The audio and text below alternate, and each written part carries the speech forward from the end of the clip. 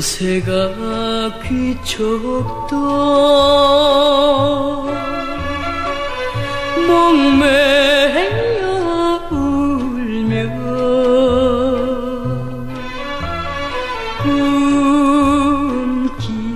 꿈길은 기스달아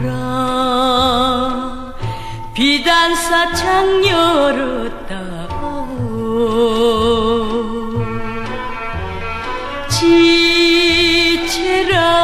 지체라면 높은 눈이 삼배치마 둘렀으니.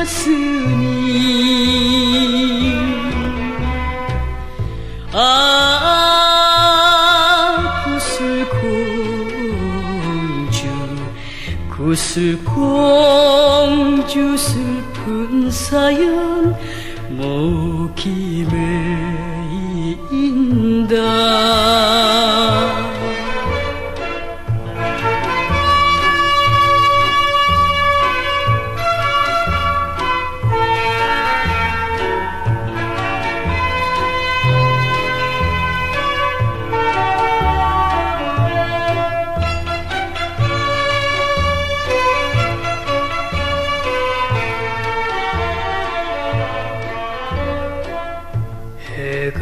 지면 산마루.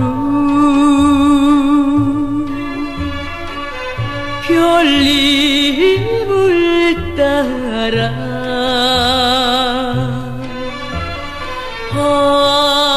밤마다 벽엔머리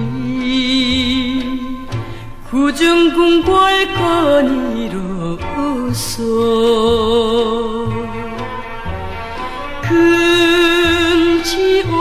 오겹 그 신님이